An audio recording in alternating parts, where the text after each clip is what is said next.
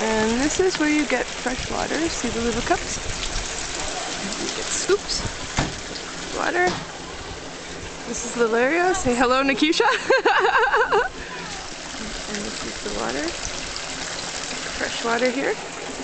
And the obligatory outdoor exercise equipment, where this child will now conveniently demonstrate for us. Isn't that cute? Is so you can work outdoors. This is a lot of Korean. I have no idea what it is. And the water place where everybody comes and fills up their water.